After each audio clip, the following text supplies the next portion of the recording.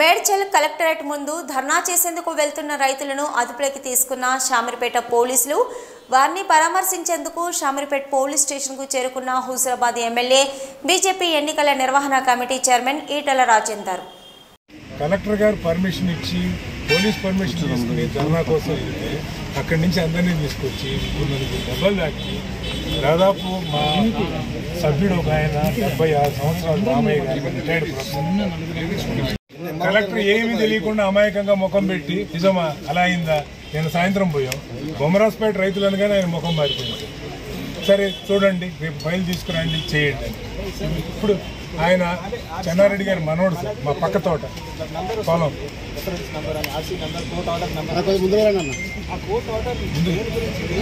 కృష్ణారెడ్డి గారు కలెక్టర్ని అడిగినా ఎవరు అడిగినా వాళ్ళు మా దగ్గర లేదు డీటెయిల్స్ మీరు అన్ని మీ కాగితాలు తీసుకురండి అని చెప్తారు. ఆ ఓట్ ఆర్డర్ ఇప్పుడు కూడా ఇప్పుడు కూడా ఎంతమంది ఉన్నామో. ఎవరు కానీ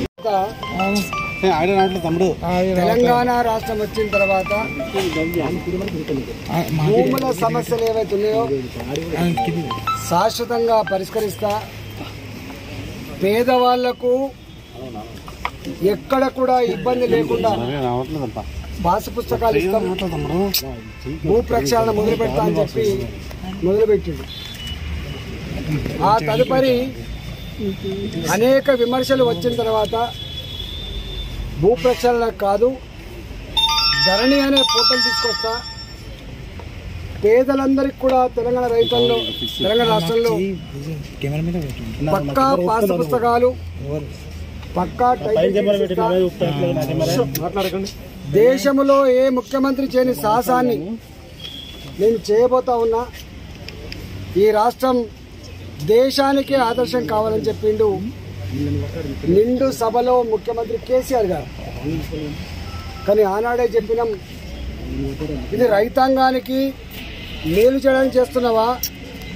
రైతుల కొంపను ముంచడానికి చేస్తున్నావా? రైతుల కళలో మట్టి కొట్టడానికి చేస్తున్నావా అని చెప్పి ఆనాడు చాలా మంది అనుమానం వ్యక్తం చేశారు. ఎందుకంటే భూ ప్రక్షాళన విఫలమైన తర్వాత ఇది కూడా విఫలమైందని చెప్పాలని నమ్మి.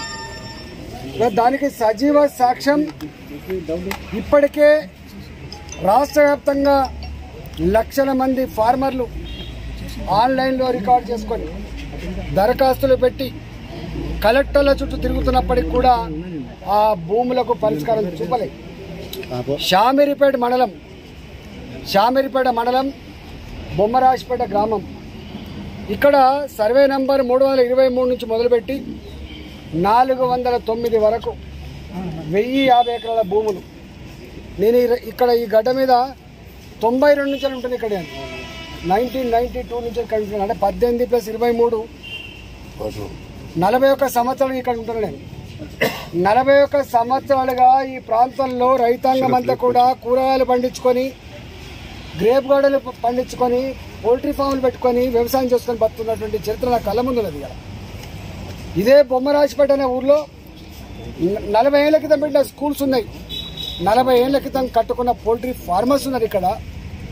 ఇవాళ ధరణి పేరు చెప్పి ఇవాళ ఆ భూములు కేసీఆర్ కేసీఆర్ బంధువులు.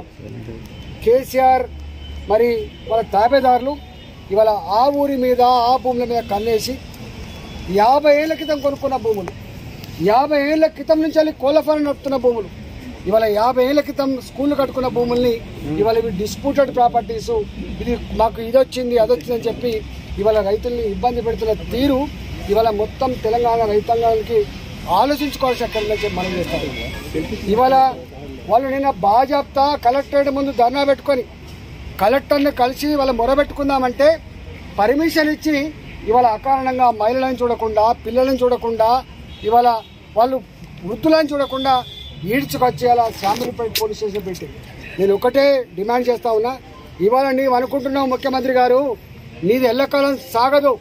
ఇట్లాంటి రైతుల కళలో మట్టి కొట్టి రైతుల జీవితాలతో చెలగడమాడితే నీ భరతం పట్టుడు తప్పకుండా తెలంగాణ రైతాంగం చేస్తారని చెప్పి హెచ్చరిస్తాను ఇవాళ ఎంఆర్ఓ గారు కానీ ఆర్డీఓ గారు కానీ కలెక్టర్లు కానీ మీరు కుర్చీలలో కూర్చున్నారు. పేద రైతులు కన్నీళ్ళు పెడతా ఉంటే పేద రైతులు ఇబ్బంది పడతా ఉంటే మీకు ఎట్లా కనబడతా ఉంది? ఎవరి కోసం ఉన్నారు మీరు? ఇవాళ ఎక్కడో బ్రోకర్లు నమస్తే తెలంగాణ పత్రికలు రాసినట్ట. నమస్తే తెలంగాణ పత్రికలో రైతులే భూముల్ని అక్రమంగా గుంజుకున్నారని రైతులే భూ కబ్జా కళ్ళని చెప్పి రాస్తుంటే నమస్తే తెలంగాణ పత్రిక ఎవరి కోసం ఉందో ఎవరి ఎవరి ఉడిగం చేస్తూ ఉందో మనకు అర్థం కావాలి. నమస్తే తెలంగాణ కావచ్చు అది టీ న్యూస్ కావచ్చు ఇవాళ ధర్మాన్ని పాతరడానికి భూ కబ్జాదారులకు అండగా ఉండడానికి పేదల కళ్ళలో మట్టి కొట్టడానికి ఉపయోగపడుతున్న సజీవ సాక్ష్యమే ఇవాటి వార్త కాబట్టి నేను ఒకటే హెచ్చరిస్తా ఉన్నా జిల్లా కలెక్టర్ గారు రెవెన్యూ యంత్రాంగం ప్రభుత్వం దీని మీద స్పందించి న్యాయం కనుక చేయకపోతే మీ సంగతి ఏందో తప్పకుండా తెలంగాణ రైతాంగం అంతా తెలుస్తారని చెప్పి హెచ్చరిస్తా ఉన్నా. ఇలాంటి పిచ్చి వేషాలు రైతుల మీద దౌర్జన్యం చేసి కేసులు పెట్టి భయపెట్టించి మీరు వాళ్ళ దగ్గరికి పోండి వీళ్ళ దగ్గరికి పోండి సెటిల్ చేసుకోమనే మాటలు మాట్లాడితే నీ బ్రోకర్ల పడతాం పడతాం మీ పడతాం పట్టే రోజు వస్తామని చెప్పి హెచ్చరిస్తా ఉన్నా. ఇప్పటికే మేము చూస్తా ఉన్నాం తెలంగాణ ప్రాంతంలో లక్షల ఎకరాల భూములు అసైన్మెంట్ చేపట్టే భూములు దళితుల భూముల్ని ఇవాళ గుంజుకుంటాను ఫార్మా సిటీపేట పదమూడు పంతొమ్మిది వేల ఎకరాలని గుంజుకుంటా ఉంటే అలా పన్నెండు వేల ఎకరాలు దళితుల భూమి గుంజుకుంటా ఉన్నావు. ఎకరం అక్కడ మూడు కోట్లు నాలుగు కోట్లు ఉంటే ఎనిమిది లక్షల రూపాయలు ఇచ్చి గుంజుకుంటా ఉన్నావు. నీ అబ్బా జాగిరా నీవిచ్చినావా? నీ వచ్చినాకనే వచ్చినాయి భూములు? ఇవన్నీ కూడా ఇప్పటికే భారతీయ జనతా పార్టీ పక్షాన తప్పకుండా వీళ్ళకి అండగా ఉంటాం. ఇవన్నీ కూడా ఇవాళ ఈ ధరణి వచ్చిన తర్వాత భూ ప్రక్షాళన వచ్చిన తర్వాత రైతాంగం భూముల మీద కన్నేసి ఇబ్బంది పెడుతున్నావు కదా. ఇవన్నీ సమీక్ష చేస్తాం రద్దు చేస్తాం ఆ బ్రోకర్ల పడతాం పడతాం. ఆ బ్రోకర్లకు తప్పకుండా చట్టం ముందు పనిష్మెంట్ ఉందని చెప్పి హెచ్చరిస్తా ఉన్నా. ఇప్పటికైనా ప్రభుత్వం ఇలాంటి వాటి మీద మీరు చర్య తీసుకోవాలని చెప్పి మేము హెచ్చరిస్తా ఉన్నాం.